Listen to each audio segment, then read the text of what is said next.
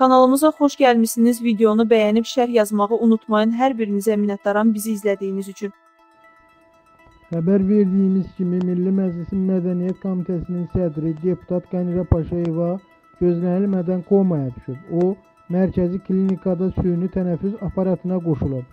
Biqaz Qafqaz İnfoya istinadən xəbər verir ki, deputat Vüqar İskəndərov da Qənirə Paşayevanın səhhəti ilə bağlı açıqlama verib.